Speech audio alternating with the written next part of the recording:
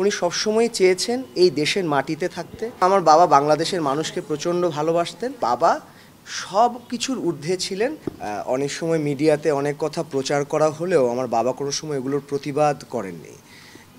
এটার বাবার একটা উদ্দেশ্য ছিল এরকম যে, আমি দেশের জন্য যে কাজটা করেছি, এটা তার এটা তার স্বভাব এবং উনি এটাই বিশ্বাস করতেন, ভালোবাসতেন এবং আজকে যে মরণোত্তর উনি দেহটা দান করেছেন, এটা ওনার সারা জীবনের যে চেষ্টা, সারা জীবন উনি যেই নিয়ম, নীতি অনুশাসন মেনে চলেছেন সেটারই একটি প্রতিফলন।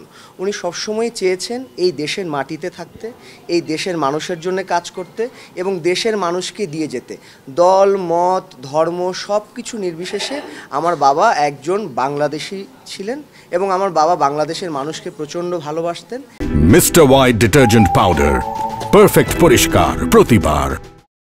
এবং এই ভালোবাসার প্রতিফলন হিসেবেই উনি ওনার চোখ কর্নিয়াও দান করে গেছেন এবং ওনার দেহটিও দান করে গেছেন এবং এই যে বিশাল একটি কর্মযোগ্য ওনাকে বাঁচানোর চেষ্টা থেকে শুরু করে এবং ওনাকে শেষ পর্যন্ত, এখানে সংরক্ষণ করা পর্যন্ত, আমাদেরকে যারা যেখানে যেভাবে, এটা সমরিতা হাসপাতাল হোক, বঙ্গবন্ধু মেডিকেল বিশ্ববিদ্যালয় হোক, এখানে কর্তৃপক্ষ, সবার নাম নিয়ে তো আসলে শেষ করতে পারব না।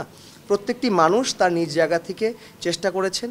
এখানে দলীয় অনেক নেতৃবৃন্দ রয়েছেন, জাসদের নেতৃবৃন্দ রয়েছেন, আমাদের আওয়ামী লীগের নেতৃবৃন্দ রয়েছেন, বিরোধী দলের নেতৃবৃন্দ রয়েছেন হ্যাঁ বিএনপির মানুষ রয়েছে।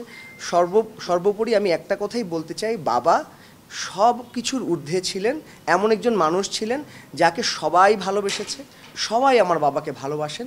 এই ভালোবাসাটা, ভালোবাসাটাকে যেন আমি এবং আমার মা, আমরা যতদিন এই দেশে বাঁচব, আমরা যেখানেই থাকি, যেভাবেই থাকি, যেন ধারণ করতে পারি এবং সেভাবেই যেন আমাদের জীবন যাপন করতে পারি, সেই দোয়া প্রার্থনা করছি এবং আপনাদের সকলের কাছে আমার বিনীত অনুরোধ থাকবে আমার বাবাকে দয়া করে অভিমানী বলবেন না। আমার বাবা কোনো সময় অভিমানী ছিলেন না। আমার বাবা একজন প্রচার বিমুখ মানুষ ছিলেন, যিনি প্রচারে প্রসার, এই কথাটিতে বিশ্বাস করতেন না।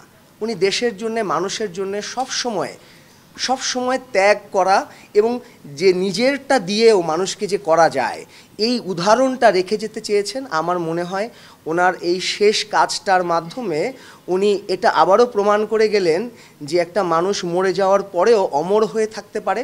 হয়তো এই কথাটি একটু বেশি হয়ে যেতে পারে, আমি জানি না, আমার বাবা অমর হয়েছেন কিনা, এটা সবাই আপনারা যারা গণ্যমান্য ব্যক্তিত্ব রয়েছেন, আমার থেকে যারা জ্ঞানীগুণী রয়েছেন, তারাই বলতে পারবেন।